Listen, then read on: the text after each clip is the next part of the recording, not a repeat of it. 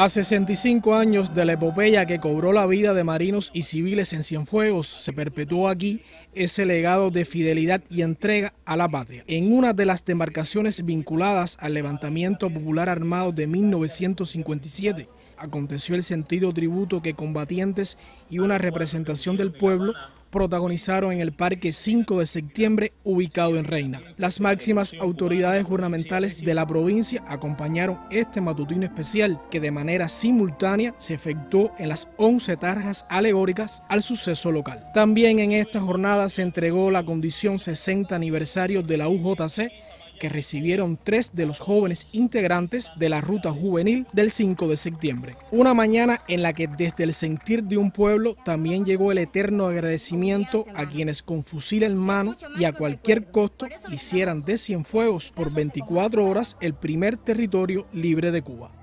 Mayelín del Sol y Uniel González, Notisur.